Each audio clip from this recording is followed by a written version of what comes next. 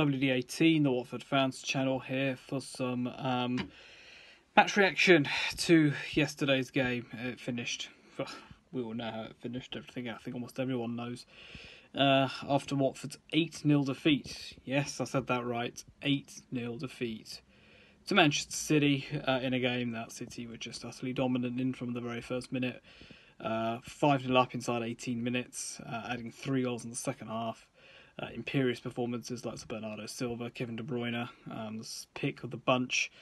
Uh, but you know, we we made it easy for them, didn't we? Uh, there's no no defending, no semblance of defence, no semblance of any fight, no semblance of any um, devoid of any passion.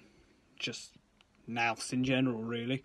Um, fair play to anyone who travelled. Fair play to anyone who actually stayed and watched that full ninety minutes. Um, uh, that's maybe the only thing I'm really am grateful of this weekend. In fact, actually, I wasn't there um, because I'd be a fuck sight angrier than I am now. Um, not so much anger. I just think it's a bit of disappointment. Really, it's a case of where do we go now? Where do we get our first win from?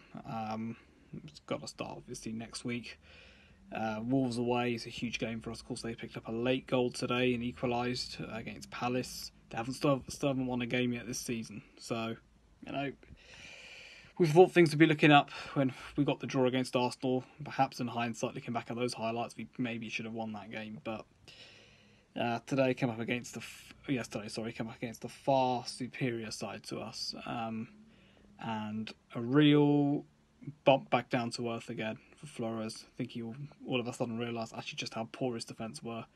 Um, reason why I think the Arsenal game was different is because, let's be brutally honest, Arsenal gifted us the way back into that game. Um, and once they gave us that goal back again, we all, all we had to do was put them under pressure and get a goal, and we did that.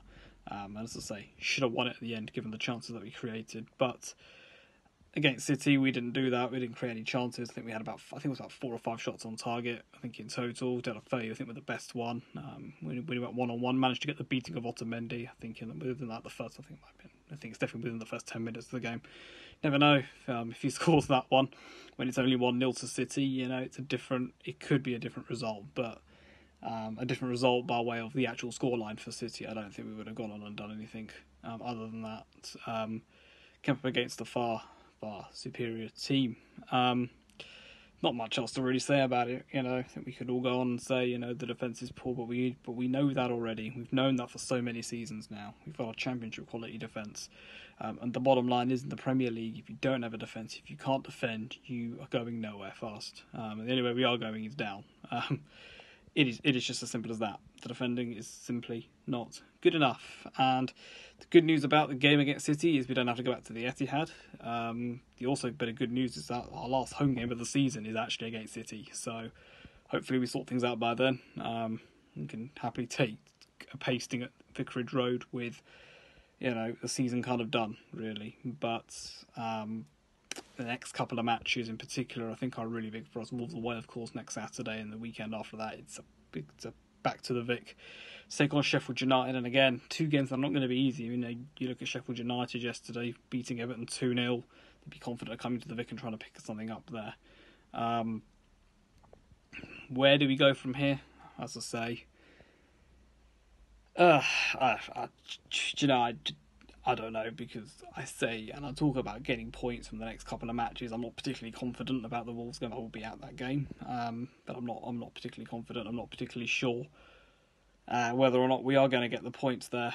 Um, really, as I say, Wolves haven't won yet. They're going to want to win the game, and we need the points. And we need to win the game. So chances are we'll probably all settle for a draw. Um, I'm really I'm going to leave that there because I just I just don't really want to talk about what happened yesterday.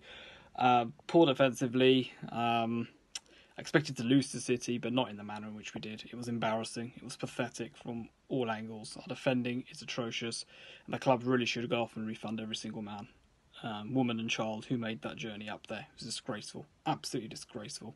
Alan Shearer called it as much as well on Match of the Day last night. It was a terrible performance. We need to bounce back, but psychologically, you know, fans say we suffered start of this season from what happened at the end of last season. At the end of last season, we got a pasting by City in the cup final. Yesterday, we went two worse and actually conceded two more goals against City. Um, just when you thought it couldn't get any worse, it did. Um, Chelsea pick, pick themselves up because unlike the cup final, that wasn't you know the cup final was the last game of the season. Um, this wasn't the last game of the season. We're still early doors. Some people are saying in the season. I don't think we are that early doors anymore. I think we're the Premier League is now starting to really pick up. Um, you know, very very soon we're going to be in the Christmas period, and well, we just pick up the form. Um, I'm going to leave that there. Thank you very much for watching. I'll see you all at Wolves next week.